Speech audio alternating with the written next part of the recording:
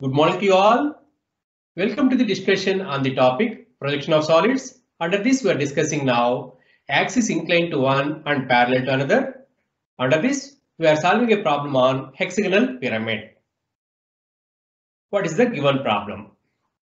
A hexagonal pyramid of base side 30 mm and axis length 60 mm is resting on HP on one of its base corner with its axis inclined to 35 degrees to the HP and parallel to VP. Draw its projections. Here, the hexagonal pyramid base side is 30 mm and axis length is 60 mm. And this base corner is on HP and its axis is making an angle 35 degrees to the HP. So we have to draw the projections. As a first step, what we have to do is we have to draw the XY line. After drawing the XY line, then draw a hexagon so that corner containing remaining two sides makes equal inclination with the XY line. So we have to draw the hexagon so that corner containing remaining two sides makes equal inclination with the XY line. Now we'll draw corner and then hexagon. Say this is the corner and this is the side and this is another side. Complete the hexagon. Here, this side and this side makes equal inclination with the XY line. This side and this side. This is the corner. Corner containing remaining two sides makes equal inclination with the XY line. Length of the base side 30 mm. Length of the base side is 30 mm.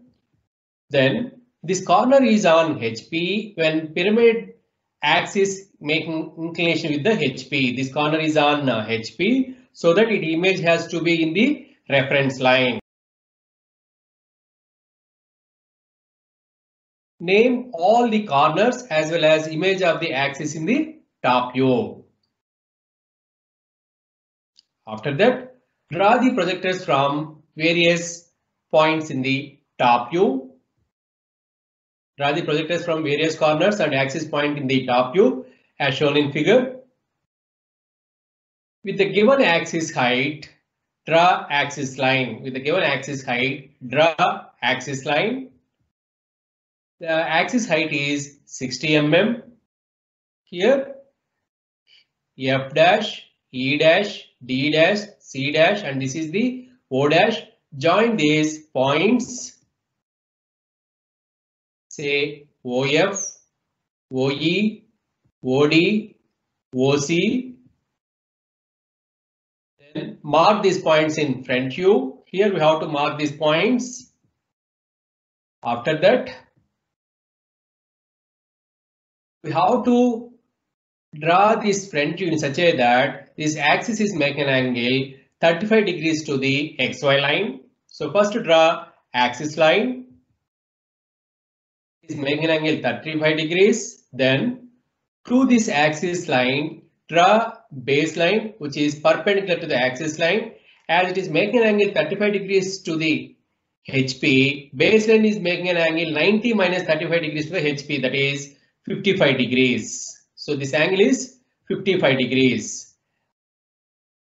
So this line, the C is on XY line as this corner is on HP and this axis is making an angle 35 degrees means this base is making an angle 55 degrees. Then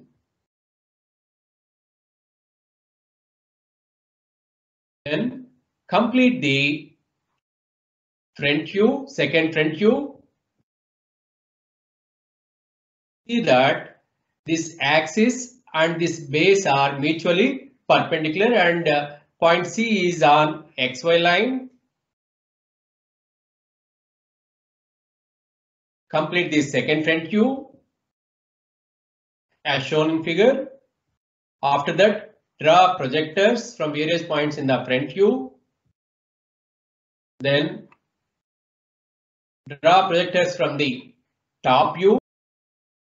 After drawing the projectors from the front view as well as top view, locate the intersection points. Name those points. First, we'll draw all lines as light lines. Then we'll draw the face sides which are visible and base sides which are visible for the observer in the top view.